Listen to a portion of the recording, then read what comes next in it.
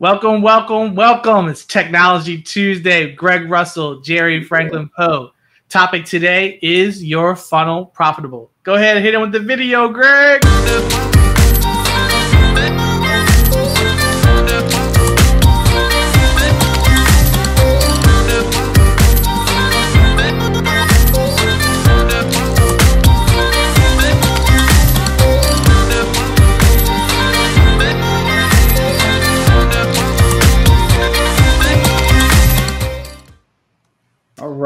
Right.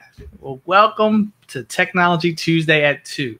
And today we're going to be talking about funnels, marketing funnels, sales funnels. What's the difference between the two? And is your funnel actually working for you?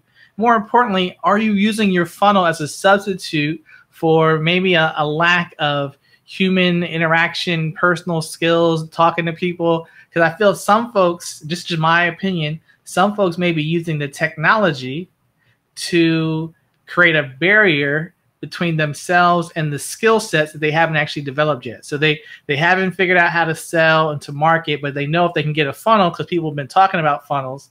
If they get one of those, then they should still be able to get results.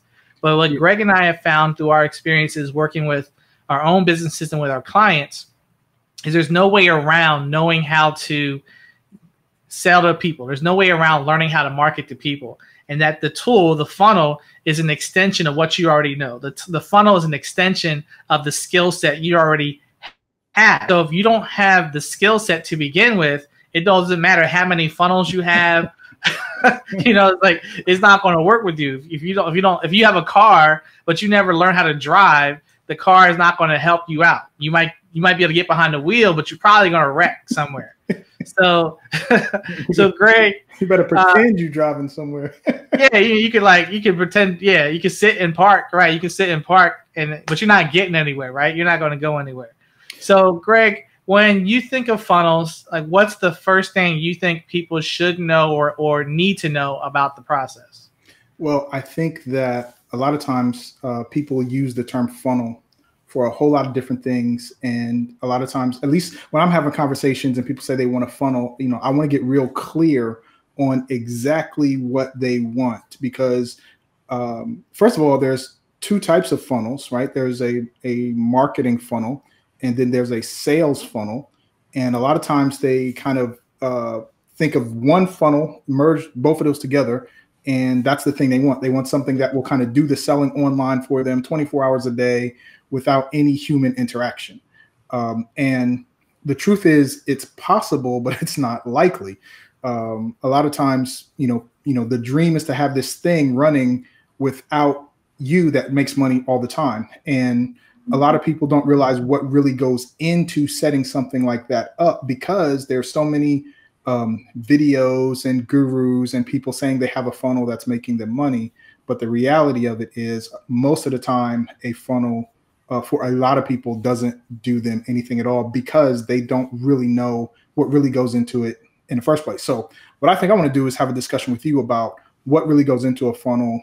Uh, what does that look like, and how would you know if your funnel is profitable before you even build one? Right, and that's kind of what a lot of people don't even think about doing. But when it comes to anything else, like that you're going to build, like you start with a blueprint, right? You start with the plans. You like, here's the plans um, and when we finish, this is what the outcome is going to be. But a lot of times people say, oh, I want a funnel and I want it to do this and I want it to do this and I want it to do this. And it doesn't end up producing what they ultimately want.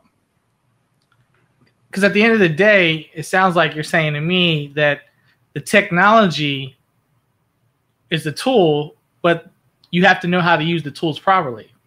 Exactly. And if you don't know how to use the tools properly. So if we separate the technology, if we so like last week we I had an issue with power, right? I had no power because there was a storm that came through, flash flooding, all this stuff that's outside of our control. So you don't have the stuff that we rely on, right? We we don't realize until it's taken away how much we rely on technology, electricity, power because we just it's, it's always right. there. So we just take it for granted. But when you take all that stuff away, you strip it down to like the bare essence of the thing even without power, even without the technology, a person could still market a business or sell because they've been we've been doing these things for years. People were marketing products and selling products before there was the internet, before there was video, before there was a telephone. So what happens is sometimes the technology becomes a crutch yep. for something that pe- that a person didn't develop already.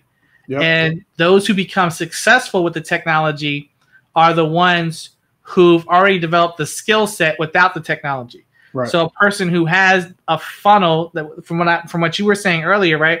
A person who has a, a successful sales funnel. So their sales funnel is profitable, right? Let's just say profitable. Forget about successful, profitable, because it really comes down to what is it bringing in in terms of revenue and how much money are you keeping because there's always going to be expenses involved in the in the whole entire process.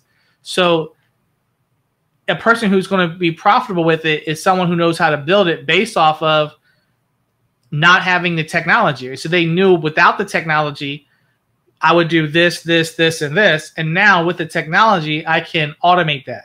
Right. And I think people are looking to skip steps. They're like, how do I get to the automation? But I didn't learn first how the process even worked. Right. Right. So let's let's talk about that. Like, you know, so for when I when I think about that, I think about what was a funnel like before the internet, right? And right. so I think about old school, like what did the guys before me do? And I think about when they talk about their Rolodex, right? And have this Rolodex. And so I think about, well, you know, let's take something like a refrigerator, right? So if you were a hold, hold on a second, hold on, man. Hold on. Like, do I don't know if everybody listening knows what a Rolodex, Rolodex is. they don't even know what that is, man. They're like, Rolodex, what's a Rolodex? Where can I download that app, right? Oh, you took man. it back. You took it back to the yeah, Rolodex, boy. Yeah, and the reason flipping, flipping, through the cars, flipping exactly, through the cars. Exactly. And the reason why is because you know a lot of the the terminology and things we use online, most of it came from offline. So when you understand where it came from, it gives you a better understanding right. of what it actually is, right? So this whole thing was a funnel back in the day you had a rolodex and a rolodex could be just just say a box of index cards separated by folders right and those folders could be months and so let's say you sold a refrigerator to sam jones right? So you that first year you take it out of that you know you have a card for sam and you put it in next year. And the next year when that date comes around you would call sam jones and ask him how's it going? And you'd see if there's any parts he'd need or whatever right? And so this rolodex was a way for you to follow up on contacts, right? Follow up on people who were customers, follow up on people who were prospects, right? Somebody comes into the store, they and question about a refrigerator, you create a card for them and you may follow up in one week or one month. You put it in this in this little box and your your job that day as a sales guy would go to the section that you need to go through that day, grab those stack of cards and contact those people, right? So old school sales funnel is basically just automated now. You want certain people at certain times where they are in the process to be contacted about whatever your product or service is.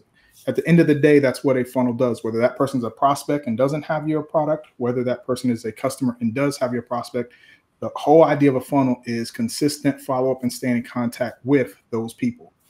So once you understand that, when it starts to relate it to the technology, okay, now this is what I want to do, you know, that's what I want to do then you have a better understanding of what a funnel actually is and how it actually should function.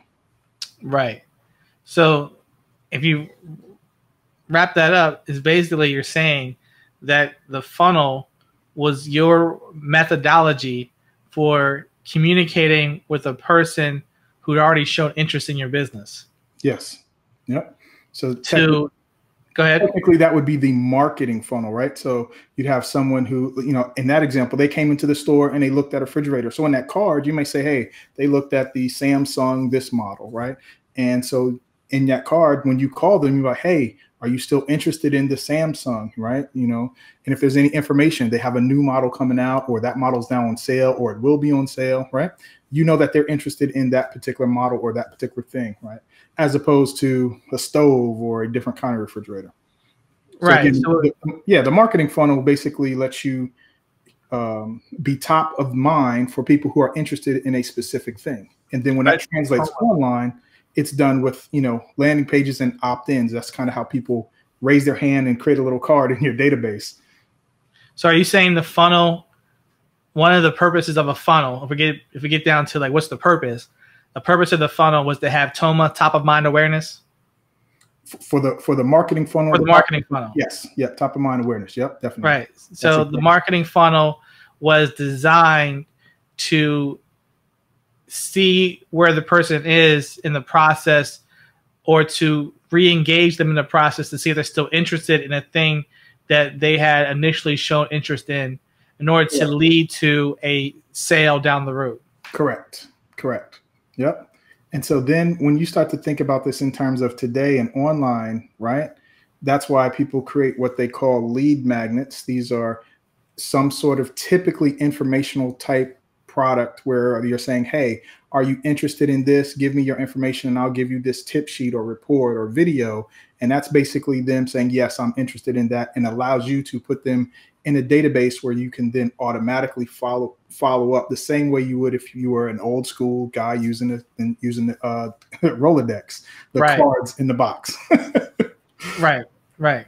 So at, at, the end of the day, a person needs to even they need to know a person would have to know why they're even creating a funnel. So before you even get to like, what does my funnel do or how do I build it? It's like what am I? Why am I doing this? Like, what's the purpose of me doing this? what am I trying to get from the person that I want to even put in the funnel? So if you don't know the reason why you're doing it, then it, the lack of the profitability is going to be diminished because yep you don't know where you're going you have to you, you definitely want to end you definitely want to start with the end in mind like what do you want to accomplish because you know, a lot of times, you know, information travels so fast on the internet, it gets diluted and people don't really understand where certain things come from or what they mean. So a lot of times I've heard uh, a lot of smart marketers and gurus say that the money's in the list and you need to build the list. And so then you get people who hear that but don't understand why. And then they start building a list and then they don't understand how to make that profitable for them because they didn't get the full story. They just got build a list which means I can make money. So they start building a list and then they go, okay, now what?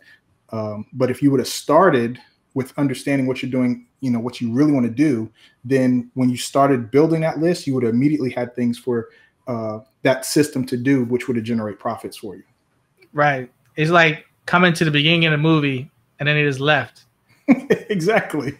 Oh, I got it. I got the idea. I got it. Right. It's like you didn't see that you didn't follow the whole the whole story. Like it's, yep, exactly. It's got the first opening part. Like, oh, he got a lightsaber. I got it. I got it. you never find exactly. out that Darth Vader was the father. You know what I mean? So you never you never get to that exactly. part. Exactly. Yeah. Right. Because because we know that that is true. There's truth in the fact that there is you know the profitability is in your list, but the profitability of your list is in the quality of the people on it. So you can have a big list, but if the people on that list aren't the right people for you, aren't interested in what you have or what you want, then it's not going to be effective. Exactly. So here's the thing, man. When it comes to you know selling and and and because at the end of the day, nobody makes any money unless something is sold, right? Right. And whether you that you like that or that or that has some sort of uh, irritation for you, that's that's that's the truth, right? Selling doesn't have to be a bad thing because we all had experiences with people who didn't uh, treat sales properly and they started forcing information on us that we didn't want to hear. That's not sales, that's abuse, right? So, but good selling is when you're only talking to people who want to hear the information. And when you can sell, and you when you learn the skill of selling, and you know how to talk to people and ask the right questions and tell the right stories, so that they come to the conclusion on their own that they want your product or service. When you can do that, then you can take all that that you understand about how to sell that product or service, and then you can start to put it in a digital format where you can then digitize it and set it up so people can go through the proper steps, learn the certain things, and get sold through a process that you have taken from what you used to do in person and put it online. The challenge is most people don't know how to do that, so they struggle with putting it together online that actually works for them. Right. Uh, for a lot of people, sales is about force. Yep. And what they don't realize is sales is not force, but sales is giving people an opportunity to buy because no one likes to be sold, but people want to buy. So selling is giving people the opportunity to buy from you. That's what it really is about. And a lot of people are trying to force someone to do something rather than creating a space for a person to make a decision based on the needs and the problems that you solve for them. Yep. Yep. I, I, I, I found it, I found it really easy for for me when I learned that uh, only talk to people who are interested. Right. If they're not interested, don't talk to them. So, you know, for me, you know, hey, uh, do, you know, and it could be real laid back. Do you know anyone who's interested? Like, even if I want to know if they're interested, I never ask them directly. Hey, do you know any in, anyone who would be interested in X, Y, Z, whatever that product or service is? If they say no, that's the end of that discussion, right? Because they let you know that they not only do they not interested, but they don't even know anyone who's interested. So there's no right. more conversation to be had, right? That's that's a dead lead. You move on. What you will find out is somebody will say, "Hey, yeah, I'm interested." and then you have a very simple question. Would you like to know more about, right? And they give, then they say yes. So now you ask them if they're interested. They said yes, and now you can have a conversation about it. Because if they don't do those two things, then you're what you're doing is putting people in that uncomfortable position that you don't like to be in when they're talking to you about something that you don't have any interest. You kind of expressed that you didn't have any interest, and now it's not a sales conversation. It's it's it's that nasty thing that everyone associates sales with because they had that experience. But that's not selling. Selling is only talking to people who say yes, I'm interested. I want to know more. Yeah, like well, my philosophy is ABS, always be serving. So selling is is serving, and that means you're solving a problem for a person or taking care of a need that they have. And if there's no problem or need that they have, then there's no need for us to have a conversation about my product or service. So if you're serving the person, then you're looking to see how can I help them and when you're looking to help people, then it makes it easier for people to want to buy from you. And that I think was the process. I think that's what it really comes down to. We want to simplify the whole process, the funnel process, knowing that there's two funnels: a marketing funnel and acquisition. Would you? Would you? Hey, you froze. You still with us? Yep, I got you loud and clear. Get yeah. last sentence one more time. So I said they're the two funnels, right? So one funnel, uh, the marketing funnel, the other funnel is the sales funnel. If you simplify it, one is about attraction and one is about acquisition. Mm-hmm. So the marketing funnel is to attract a person to you to see if they're interested. And then the sales funnel is then now how do we acquire them as a customer by sorting to see if there is a problem that we can solve for them. Because selling is really sorting to see if there is a problem for this person. And the, and the funnel, part of the funnel is the sales funnel we were talking about is to sort to see where does this person match up? Where do we match up in terms of what I have and the problems that they have, the value that I provide to the marketplace and the problems and the needs that are in their lives, and how do we match those up? How do we match it up? So if you think about it, is how do I attract people with you know with a marketing funnel and then how do I acquire them as a customer? That's the sales funnel. That I think that simplifies the process for people a little bit. Yep. Yep. And you know, I've had lots of conversations with my clients who want a funnel, and when we start to lay out, uh, you know, the, all the aspects, right? Just like a blueprint. So they're like, let's talk about it. What do you want to do? I lost you, want to sell Greg. this product. Okay. How do you want to sell that product? Do you want to sell it where you have to talk to them one on one, where you want an appointment, you want someone to schedule a a call with you? Do you want them to, you know, watch a video and just buy? Like what what's the sales mechanism, right? Identify the sales mechanism, the thing that happens right before someone buys, right? So if you think about it, anytime and you've had your own experiences, you bought stuff, right? What was the one thing that happened right before you bought? So typically, it's either you watch some sort of when it comes to internet marketing it's typically you either watch some sort of video presentation or read some sort of long sales form letter um, or had a conversation uh, with someone because you scheduled to be on their calendar and, and spoke with them so typically those are the two that um, the, the, most popular two that that drive sales. Those are typically the sales mechanism. There's others, but those are the two. And so then you're like, all right, so then what do we need to do to make that thing happen as many times as possible? And that's the sales funnel. Everything leads up to getting either people to that video or to schedule that thing. And that's what you build in front. And we actually have a tool and tools that we use to map out the whole thing, just like a blueprint to say, okay, you need X number of people to come to this website, you need X number of people opt in, and here are the numbers, and here's your um, what you want to happen, right, to get to your goal. And here's your worst case scenario, meaning if you don't hit these numbers, you lose money on this sales funnel. And when we present that to them and we say, okay, now let's go. If we build this, this is what you got to do, and this is what we got to do. And this is how much it's going to cost to get this traffic to the site. And if they're either not willing to get to to to get that traffic because they're not even going to pay for it, or they're not willing to do the work required to get the traffic. So if they need to be doing Facebook lives or emailing their list or whatever, at the end of the day, we can look at and say, hey, here's where our goal, this is what we tried to achieve. You know, this is where you're at. You either didn't get enough traffic or um, you did get enough traffic and this is not converting and you can you can break it down piece by piece and fix what's not working in the funnel and once you can do that you can fine tune it and get it working where now all you can do is um, generate and drive traffic to a profitable funnel most people do not have the patience or the understanding of what it takes to really set up a profitable marketing funnel so if your funnel's not working um, or you have one and it's not producing the results you want, you need to get in there and start looking at the things that make it work, that make it work. And if you're struggling with that, um, and you don't know how to do that, then you should uh, get in touch with me or Jerry and let us help you work the kinks out of your funnel so you can have a profitable right. asset to your business. Yeah, man. I, I think the the problem for a lot of people is the testing before the automation. So they want to get everybody wants to get to the automation, right? They want to get to the dollars as quickly as profit as quickly as possible, right? How do I get to this target as quickly as possible? But there's a there's stuff that you have to get through before you, you get there. Yeah. It, it's almost like, you know, they want that they want that picture. If you look in the fitness industry, right? The fitness was always like the before and after photos. They want that after photo, right? You want the after photo, but there's like a whole thing in between to get there.